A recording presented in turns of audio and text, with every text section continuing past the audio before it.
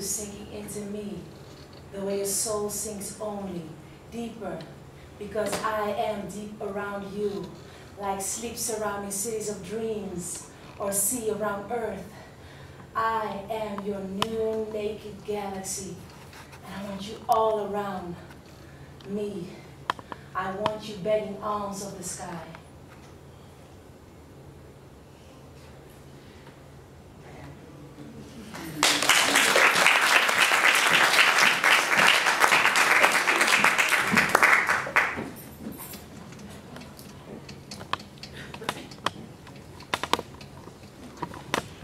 I have been invited to stay with rich friends at the plaza.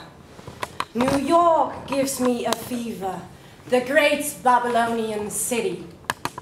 I will see Mary again. Perhaps this time I will not be timid. I remember when I came to Saint Tropez one day, and we met occasionally. She invited me to come to her room in the evening. The day after we met, she left Saint Tropez, and I was filled with regret for not having kissed her.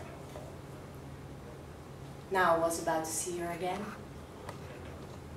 In New York, I unfurled my wings of vanity and coquetry. Mary is as lovely as ever and seems much moved by me. She's all curves, softness.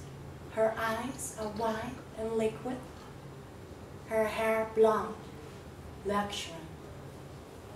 She's slow, passive, lethargic. We go to the movies together.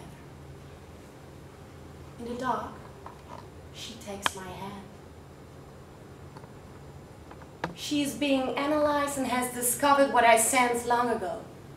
That she has never known a real orgasm at 34 after a sexual life that only an expert accountant could keep track of. I'm discovering her pretenses. She's always smiling, gay, but underneath she feels unreal, remote, detached from experience. She always comes to me eating candy like a schoolgirl, but inside she's going into pieces. There's a current of attraction between us, purely physical. We're always on the verge of getting into bed together. But she's never free in the evenings. She will not let me meet her husband.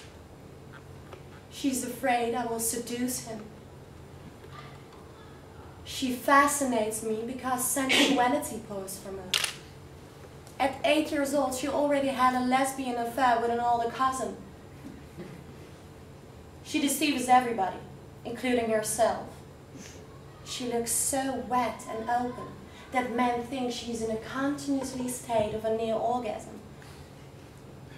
But it's not true. The actress in her appears cheerful and calm, and inside she's going into pieces. She drinks and can only sleep, by taking drugs. She always comes to me eating candy like a schoolgirl. She looks about 20. Her coat is open. Her head is in her hand. Her hair is loose.